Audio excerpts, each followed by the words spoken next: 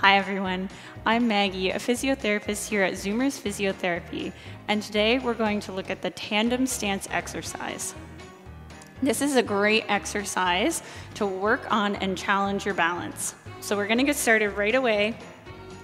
I want you to make sure that you have a clear and open space and that you have something to hang on to if you need it.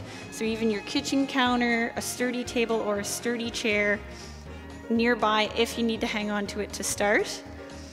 And to do this exercise, I call this my tightrope tightrope exercise. You're gonna put one foot in front of the other, and if you can, try to do this without hanging on. Just like that. Awesome.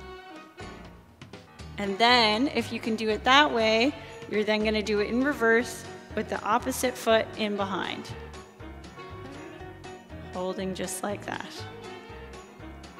All right, give that a try and let us know how it goes. Have a nice day and see you next time.